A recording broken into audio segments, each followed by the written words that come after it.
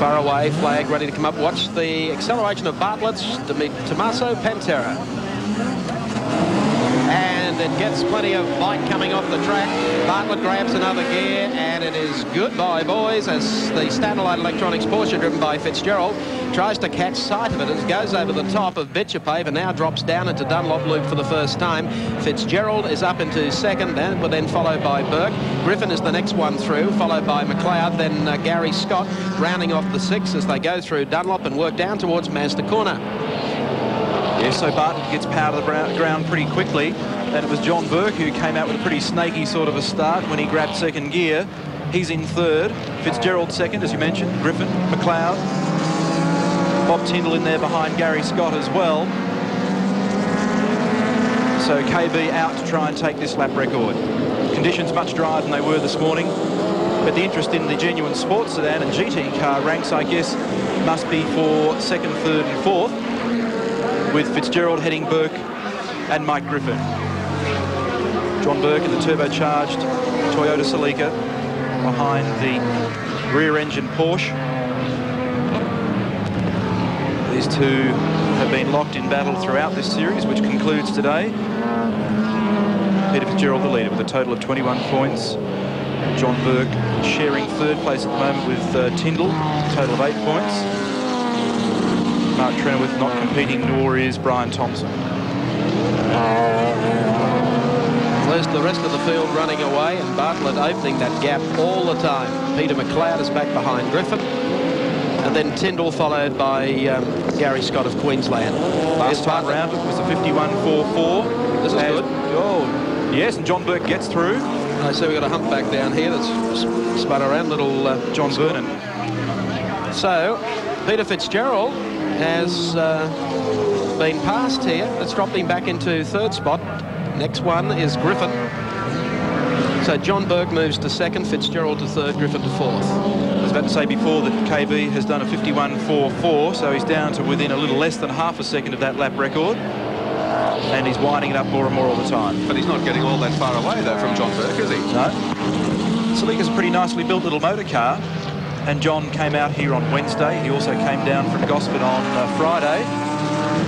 As Glenn Seaton goes whistling off into the boondocks again for the second time in two races. He likes that part of yeah, the track. loves it. Here's Kevin Bartlett Burke in the is Pantera. close. Burke is close.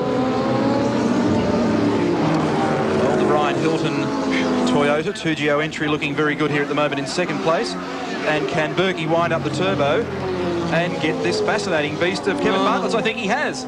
Across the top, on the inside, the new leader, car 77, John Burke. So is Bartlett in trouble?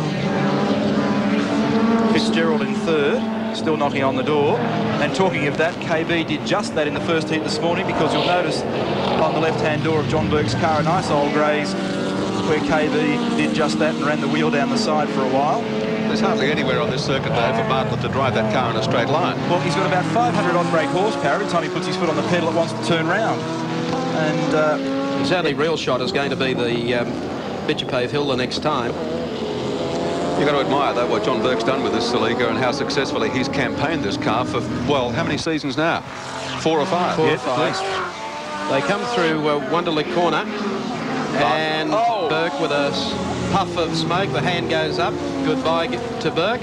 Fitzgerald now goes back into the lead. Kevin Bartlett in second. Mike Griffin is up to uh, third now, sitting in behind the Pantera. As Fitzgerald takes the lead. Hard to know whether Bartlett's showboating or not. Just So- having a little exploratory move there on Fitzgerald, who's got the Porsche Oh. sideways. Griffin coming right in behind Bartlett. all the others are all bunching up there as well. We've got a glimpse of Bob Tyndall, Peter McLeod and Gary Scott in that second group of cars. So this is going to become a very good six-way battle with Fitzgerald the leader at the moment from Bartlett, Griffin, Tyndall. Griffin comes out on the inside for a run through the right-hander onto the straight. Now, KB is certainly not uh, circulating the way that one would expect and uh, there's no danger of the lap record being knocked over here at the moment. He's either got a, um, a problem. Bisbee's certainly busy taking the car through the corner there. Moving off down towards uh, Mazda. Fitzgerald just there. Bartlett in second, then Mike Griffin, the Nippon 41 entry.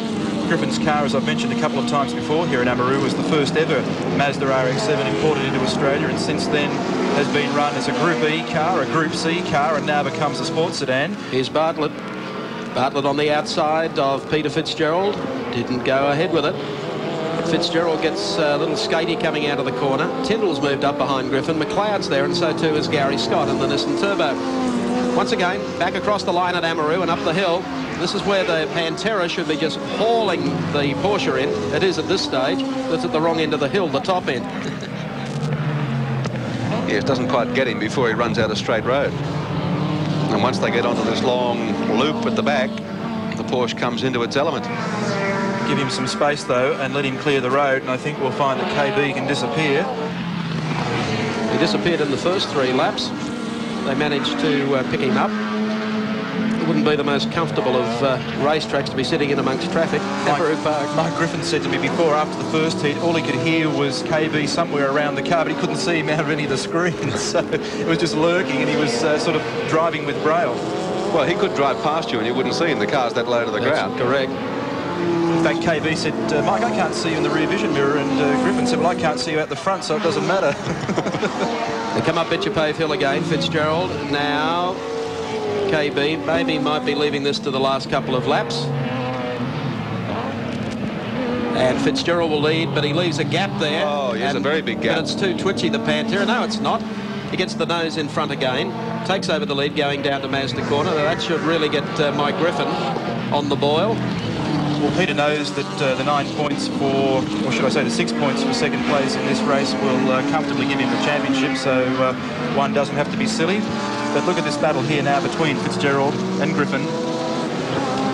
Mike Griffin, who has been the centre of some uh, controversy in the sports sedan ranks in the last couple of meetings, has really come good today and has got the car mobile a lot quicker than he has had in the past. Yeah, well, he's had a lot to say about the hybrid cars, uh, notably uh, Mark Trenoweth and that big Jag that he brings down from Queensland. Well, that car's not here today.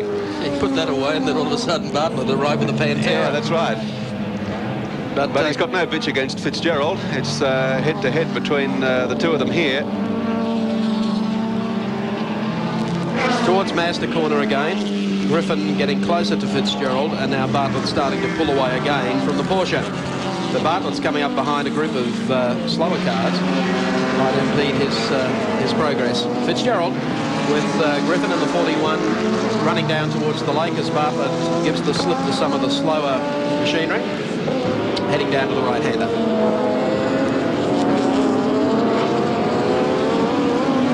It's Fitzgerald with Griffin sticking to his tail. Tyndall, I think, is the next one back behind them. One lap to go. Bartlett leads Fitzgerald and Griffin, but uh, Fitzgerald is going to win the series. KB is going to win the race. And Bartlett, the NatWest Finance Pantera coming down to Mazda corner. They're just trying to steer away from uh, some of the slower cars. Stay out of harm's way. As he comes out of Honda corner, runs down towards the lake corner now. The scrap still continuing between Fitzgerald and Griffin, about 100 metres back behind him. In fact, they've gained appreciably. A small straight now that brings them up to uh, Wonderlic corner. And here comes KB. Good to see the checkered flag for Kevin Bartlett, the NatWest Finance Pantera.